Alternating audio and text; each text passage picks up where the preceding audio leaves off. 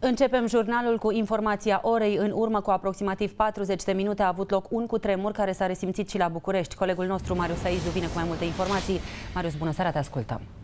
Bună seara, Andreea, bună seara, doamnelor și domnilor. Cu tremurul din această după amiază a avut loc la ora 17 și 9 minute și a fost de 5,1.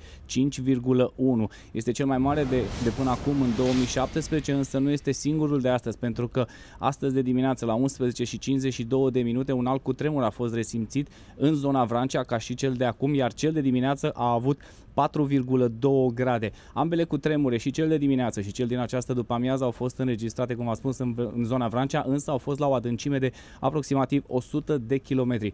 Până în momentul acesta nu au fost înregistrate pagube și au fost doar câteva telefoane date la 112. În schimb, echipe mixte de la Protecție Civilă și de la Inspectoratul pentru Situații de Urgență au mers în centrul vechi, centrul istoric din București, pentru că se știe este cea mai vulnerabilă zonă a capitalei și poate chiar a țării, iar acolo nu au fost înregistrate pagube și nici avarii la clădiri însă oamenii sunt în continuare pe stres să verifice dacă nu cumva au existat sau există probleme.